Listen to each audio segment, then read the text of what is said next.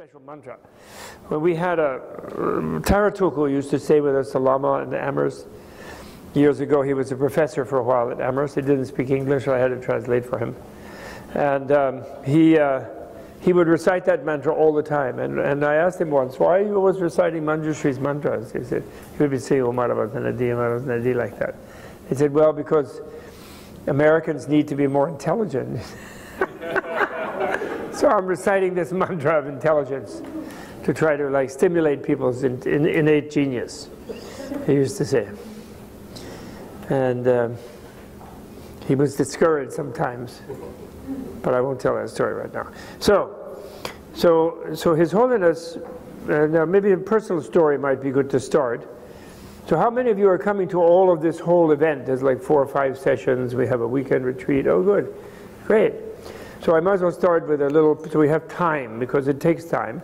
And since His Holiness only has two days, which he very, very graciously and kindly gave to us to do this, which he had promised to do for me for a long time, really since I translated this book like 30 years ago. And in a way, he's going to just open a certain gate to it. Like, you know, you can't cover all of the details of this, of course, in that time. So so people would really appreciate it. We thought we would do this thing ahead of time.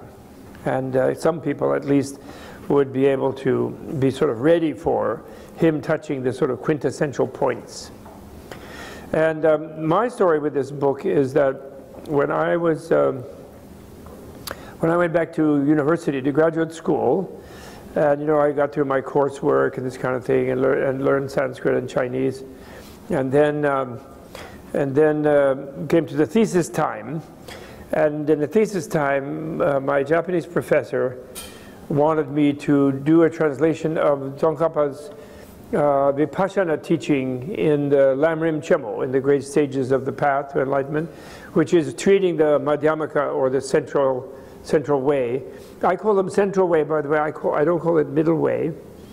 The middle way was the Buddha's middle way between asceticism and self-indulgence you know, severe asceticism and self-indulgence. So then people transferred that to the word madhyamaka and they call it middle way. But then a middle way philosopher, they're kind of stuck because nobody wants to say the middleists. it just doesn't sound right. But madhyama also means center. Like the Madhyama, Madhyama Nadi is the central channel, for example. Madhya Pradesh in India is the central state, you know. Madhya Desha, you know, means the central country, you know. So Madhya can be center or middle, and it's, it's easy to say centrist, the centrist philosophers. You know, they don't have to be, they can be in the center of the road, they don't have to be in the middle of the road, you know, all the time. But, you know, nobody else calls it centrist. They just say either the Sanskrit Madhyamaka or middle way thinkers or something like that, because no one wants to say middleist, and I don't blame them. I never wanted to say it either.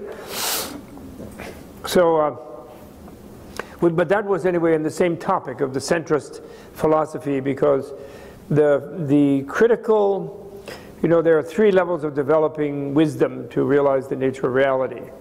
Of learning, the level of learning, the level of critical reflection, like philosophical meditation, in that sense, like Descartes' meditations. And then there's one pointed meditation. And without the previous two stages, the one pointed meditation will not necessarily lead someone to understanding. It will just go off somewhere and land on some point, and then it will not, it, it has to be, it's like in Zen, even in Zen, where they, some way, the way some people teach Zen, they try to discourage critical thinking, but actually you have to develop a great doubt in Zen. And, and uh, the koan, for example, the public case or the, the riddle type case, is a way of developing tremendous doubt by critically thinking this way and that way and the other. And isn't that the thinking will get you completely to the understanding, but it brings you to the brink. It's necessary to bring you to the brink, even in Zen.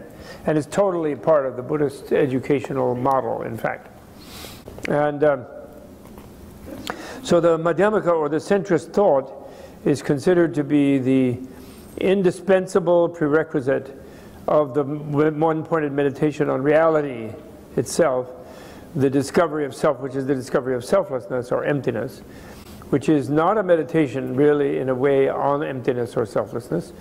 that would just lead one to a nihilistic misunderstanding. It's a meditation on non-emptiness and a meditation on the self. It's an attempt to discover the self, to discover what is not empty, to discover what seems to resist analysis.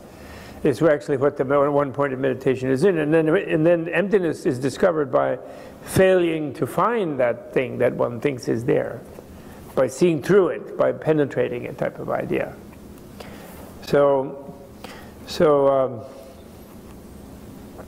so that's, that's what I was going to do. I was going to translate it in the context of the meditation of vipassana, or critical insight, or what I call transcendent insight.